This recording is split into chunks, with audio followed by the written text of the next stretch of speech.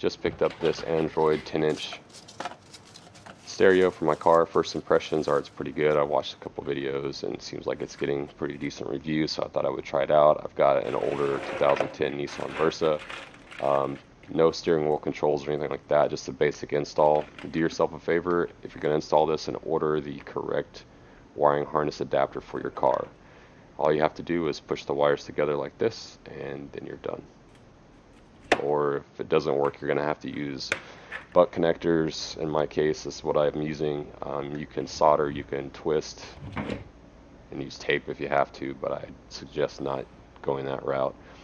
Um, these wires do come pre-stripped but some of them I guess they missed so I had to use some wire strippers there. Just gonna go down the entire wiring harness uh, adapter. This is the end that plugs into the car and I'm going to put butt connectors on every single wire and work my way through the harness. And it should look like this when you're done. And you can grab the harness that plugs into the back of the stereo and see if you can get them all to line up in one try or two tries and just push really hard and uh, probably not going to work so you're going to have to take your time and go down the line and match each color up to the corresponding color on the opposite harness it is a bit tedious, but it's necessary. After each crimp, always make sure to test the, the crimp to make sure that it doesn't pull apart. Anyways, you ha should have something similar to this once you've got them all crimped together. And in my case, like I said, I'm not going to be using uh, steering wheel um, controls or a remote amplifier so there I have a couple wires left over. I'm just using a heat gun here to shrink all the butt connectors allowing that glue to make contact with all the wires. It adds extra strength to the harness.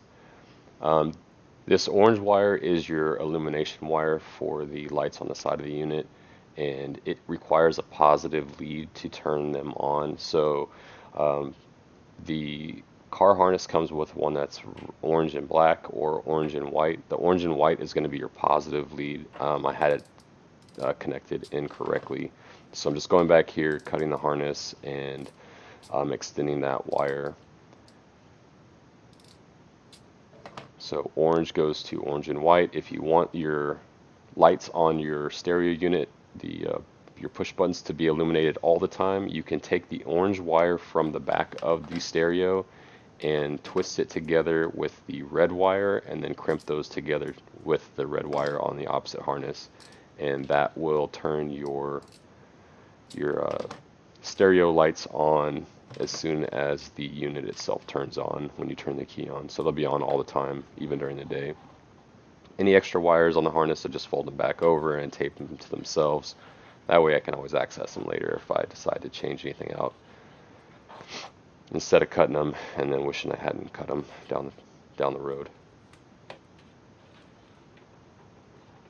So the only two I had left on this side is the remote um, wire, which is that blue wire. Also, the end, it's also an antenna wire, and then the illumination wire for a dimmer, which this does not have that feature. So no need for those wires. And then I'm just going to add some tape on, starting on each side of all the butt connectors to add a little bit of extra strength. That way if the harness ha happens to get pulled on during the installation process, you don't have to worry about it pulling those wires apart.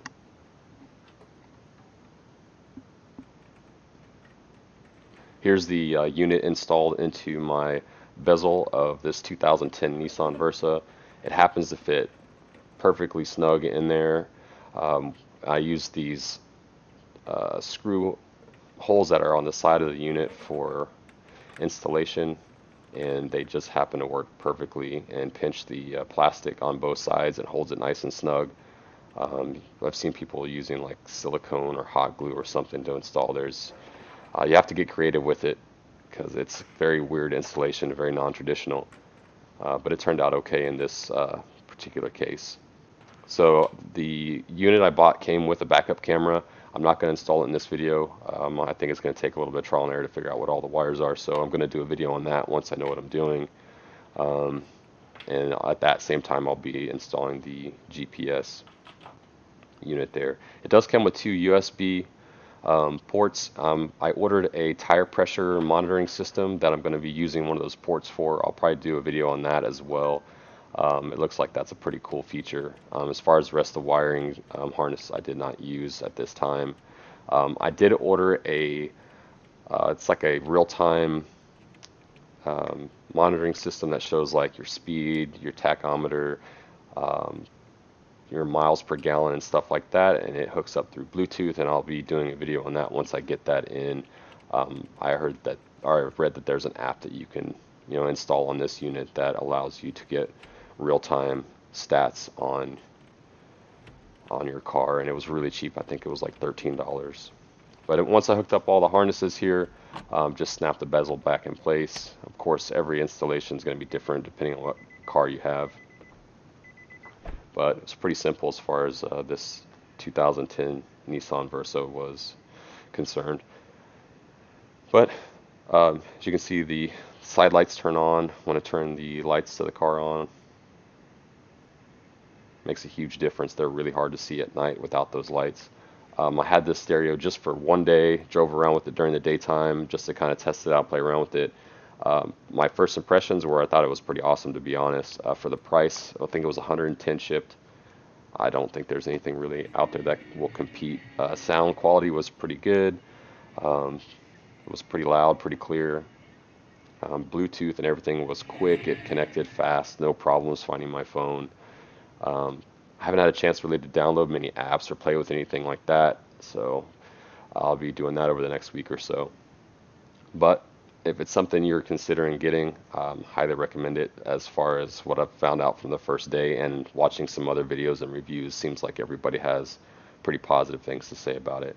Uh, make sure to check out the videos I've got coming up next. Uh, I'll be doing, like I said, the uh, rear camera install and a couple of extra add-ons, the TPMS, the tire pressure monitoring system, and then that real-time um, data information. Hopefully that works out good and we'll get that tested out.